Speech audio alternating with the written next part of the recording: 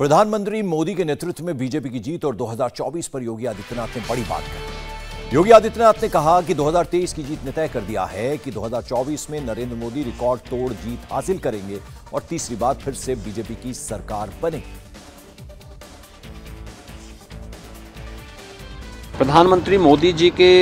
नेतृत्व और उनके मार्गदर्शन में जनता जनार्दन ने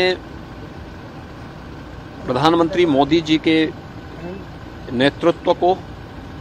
स्वीकारा है, उनके डेवलपमेंट के मॉडल को,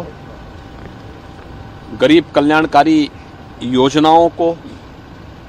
और भारत की छवि को वैश्विक मंच पर स्थापित करने के उनके प्रयासों को हर एक स्तर पर पब्लिक ने स्वीकारा है। आज मध्य प्रदेश में भारतीय जनता पार्टी की सरकार फिर से रिपीट हुई है। राजस्थान और छत्तीसगढ़ में भारतीय जनता पार्टी को जो भारी बहुमत से इन राज्यों में भी सफलता प्राप्त हुई है, कांग्रेस को जनता ने मात दी है। ये चीज़ें दिखाती हैं कि 2024 के लोकसभा चुनाव में देश की जनता तीसरी बार भी प्रधानमंत्री मोदी जी के नेतृत्व में पूरी